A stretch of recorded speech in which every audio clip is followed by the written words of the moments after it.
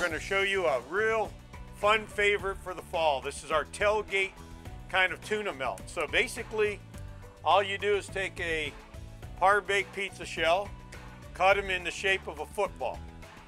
We've pre-made our tuna salad mix, and we're just going to generously put it on top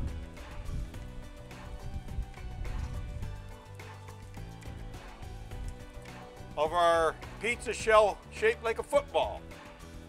Okay, once you get that down, then we've cut up some American cheese and we just layer it across the football here, if you will.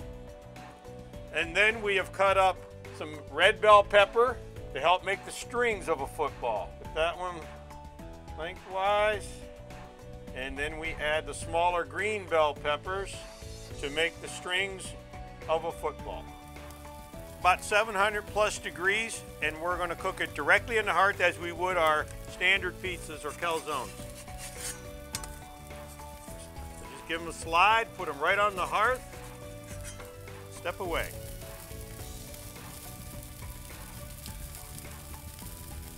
As you can see, our tuna footballs are just about done here. We've been cooking them for about two minutes.